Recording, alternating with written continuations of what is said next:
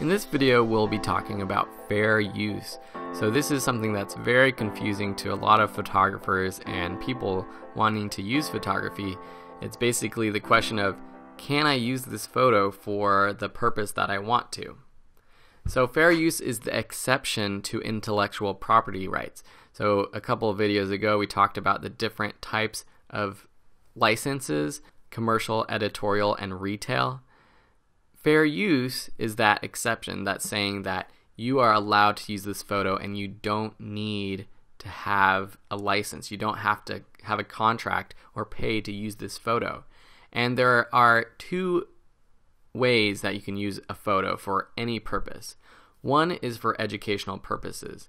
So when you are teaching your class, you can use photos in your teaching or if you're doing student research. So if you are doing a research project, you don't technically have to pay for a photo that you're putting into your project. And then the second way is if you're making commentary and or criticism as a news report. So Jon Stewart of the Daily Show is famous for all of his rants and his social commentary and he often includes photos of the people he's making fun of. And he's allowed to do this because he's critiquing them. He's making a commentary about them as a news report. And so this is why people like Jon Stewart or lots of blogs and websites and magazines make fun of other people and they don't get in trouble for using photos of them. Fair use is different than public domain.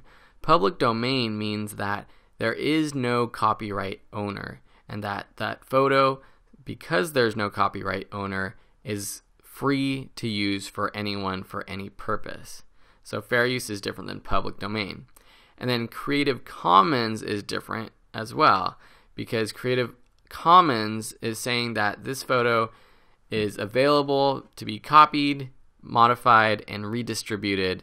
And it can even be redistributed for money, but it's just a different thing. It's it's the photographer saying that you have the right to use my photo by giving you putting it in Creative Commons, and you can find a lot of Creative Commons photos on Wikimedia Commons. It's like a Wikipedia site for media, for photos, and other things. Those are the three things in fair use that I wanted to cover. So remember, Fair use is allowed for educational purposes, and if you're making a commentary or criticism as a news report, this isn't the same as public domain, which means that there is no copyright owner and therefore you are free to use the photo.